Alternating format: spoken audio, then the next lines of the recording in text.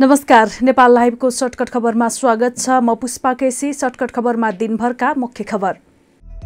एमबीबीएसमा आठ लाख शुल्क बढाउने प्रस्ताव प्रधानमन्त्रीद्वारा स्वीकार शुल्क बढ्दा सरकारको आलोचना हुने भन्दै विभिन्न सत्र विषयको शुल्क निर्धारण गर्न समिति गठन। प्रधानमन्त्री ओली विरुद्धको आन्दोलनमा मोर्चा बनाउन प्रचण्ड र डाक्टर बाबुराम भट्टराई बीच श्रृङ्खलाबद्ध भेट। ओलीसँग सम्बन्ध विच्छेद गरिसकेकाले संयुक्त आन्दोलनमा जान तयार रहेको प्रचण्डको उल्लेख। प्रतिनिधि सभा विघटन गर्ने प्रधानमन्त्री ओलीको कदम विरुद्ध सङ्घर्ष गर्दै आएको बृहत नागरिक आन्दोलनले बालुवाटारमै प्रदर्शन गर्ने माघ बाह्र गते बालुवाटार मार्च कार्यक्रम तय। प्रतिगमन विरुद्ध संयुक्त जनआन्दोलन निर्माणको प्रयास स्वरूप पूर्व प्रधानमन्त्रीहरूलाई भेटेको डाक्टर बाबुराम भट्टराईको भनाई प्रत्येक जिम्मेवार नागरिक आफ्नो र पार्टीको स्वार्थभन्दा माथि उठ्ने बेला आएको तर्क।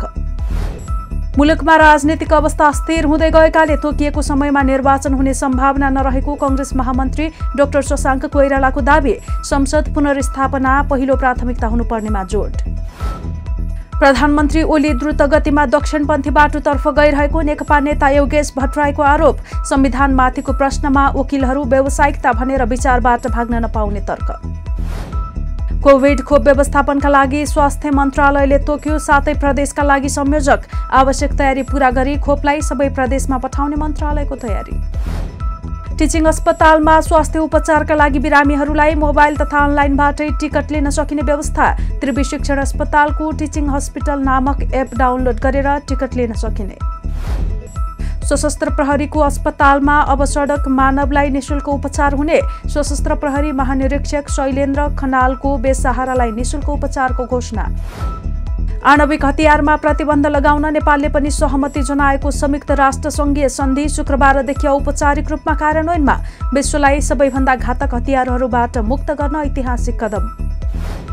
नेपाल बायोसिया निगमले मलेसियामा मृत्यु भएका अठार नेपालीको शव नेपाल ल्यायो मलेसियामा हाल तीन दर्जनभन्दा बढी शव रहेको मलेसिया स्थित नेपाली दूतावासद्वारा जानकारी। गत बिहिबार भएको आगलागीमा कोरोना खोप सुरक्षित रहेको भारतको सेरम इन्स्टिच्युटको भनाई कोभिड भ्याक्सिनको आपूर्तिमा कुनै असर नपरेको तर बिसिजीको इन्जेक्सन आपूर्ति भने प्रभावित हुन सक्ने उल्लेख।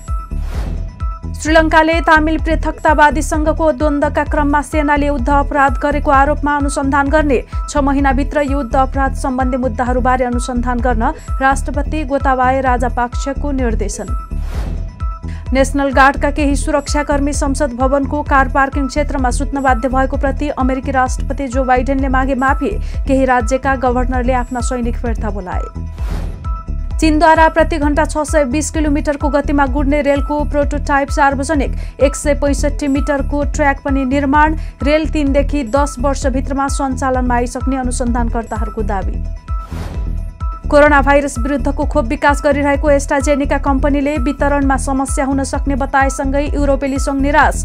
युरोपमा कोभिड खोपको अभाव कैयौँ स्थानमा खोप कार्यक्रम स्थगित।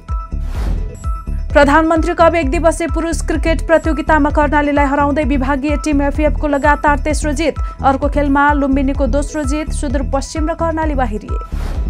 Vijay youth Hetauda gold cup football प्रतियोगिता पूर्व निर्धारित समयभन्दा छ दिन अगावै सुरु हुने।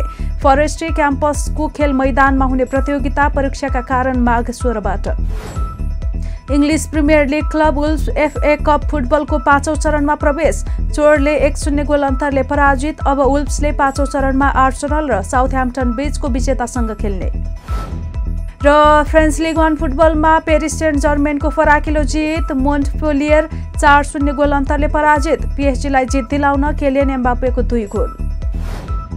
नेपाल लाइभको सर्टकट खबरमा दिनभरका मुख्य खबर आजलाई यति नै। नमस्कार।